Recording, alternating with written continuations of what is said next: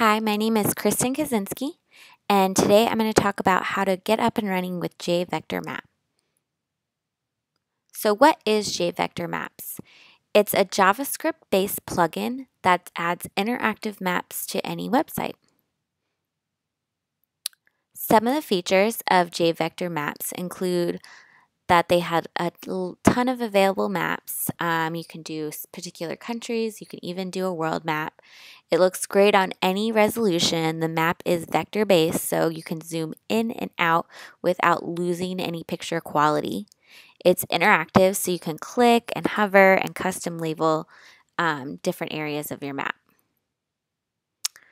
One of the great things about JVector Map is that it has a very great documentation. It's very thorough and very easy to get up and running with just a little bit of jQuery, CSS, and HTML knowledge. Um, you can see the link right here that um, the documentation is right here. Um, the API, you can view the different um, versions and all the parameters that you can use. It also has a really great um, guide for a quick start tutorial. So you can click on that here and see that they have the code lined up. It has a really great walkthrough on step by step how to get your map running. And they just use this specific example um, of the GDP. But you can kind of use this as a guide on how to apply the other parameters that are outlined in the API. So how do you get it installed? First, you need to download the necessary files. Uh, the first file that you need to download is jQuery. So you can see here, you can download jQuery directly from the website. Um, it's probably best just to use the compressed version of jQuery. We don't need to make any edits in here.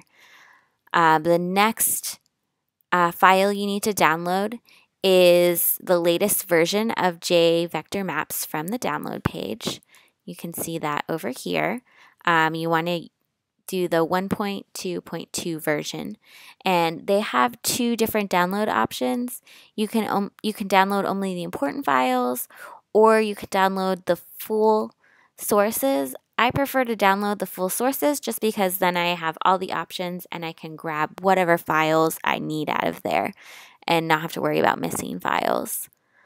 Um, the final thing that you need to download is what map you want to use.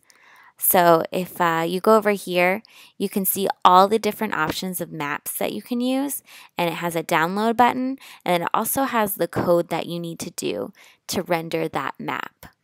Um, in my example today, I'm just going to show you how to do the world map, but you also have options to do specific countries and you can label these regions and the countries. And then it looks like they even have two cities. They have Chicago and New York. All right. So once you download the files, the next thing you want to do is add your files to your website directory. You can see here I took um, these three files, the CSS and the jQuery JVector um, JS file are included in the zip. This final or this third file over here is the actual world map um, JavaScript file, and then the final one is my jQuery. So after you add the files to your directory, the next thing you want to do is link your files in the HTML file.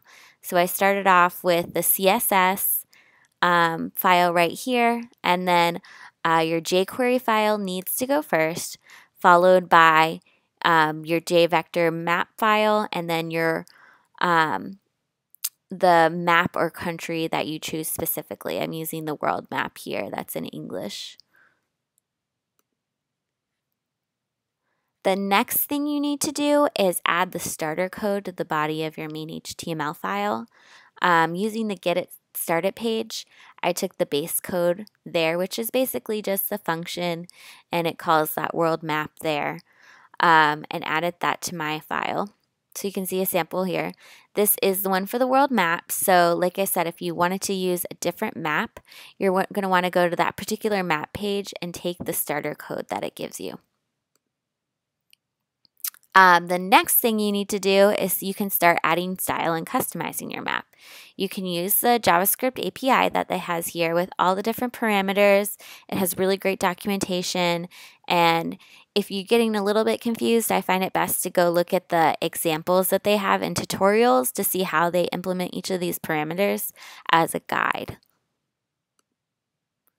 So this is my final HTML file put all together so you can see the links. I just put a little style in here since this is just an example. I didn't want to do an external style sheet.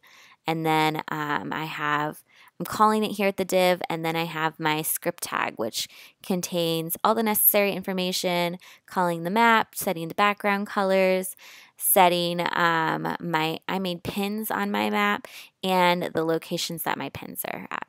So I will show you what that actually looks like here. Um, so this is just a little screenshot of my map and we're going to go look at a live preview of it. So this is the example I made. Um, you can see that I just did the world map. I chose to kept, keep it all in white, uh, but when you hover over it, the opacity is by default, it lowers over whatever you're hovering. And also by default, you can see um, what is the name of the country that you're hovering over. I added these pins to my map, um, which were added. Here, I'll show you the original code file. These pins, they're pulling um, by the coordinates here. So the longitude and latitude. So I put in the longitude and latitude, and then I chose what I wanted the name to be. So you can see as I hover over it, it has the name of these different places right here. You can also change the color that your pins have and the stroke around the pin. This is just one example too. You don't need to use pins on these maps. You can color code it. Um, you can even do different regions, color code it if you use one of the different maps that is just of the countries. So you can see I added just a little fill in stroke here for those pin colors. I also use this um, zoom on scroll feature, I turned that to false. So when I zoom up and down using my mouse or scroll up and down using my mouse, it wasn't automatically zooming. In order to zoom, I have to just manually press these buttons, which is a great feature to add on a website, especially a longer one that you're scrolling. Um, it could cause it to where your user is scrolling the map a lot and can get kind of frustrating. So I think that's a great option um, is disabling that. Um, so that is my presentation on JVector Map. I think it is a great plugin. It's um, it's very easy to install just with a little knowledge. Um, I've used other jQuery plugins in the past, and this is definitely one of the easiest ones I've been able to install. And I love the variety of customizations that you can make with it.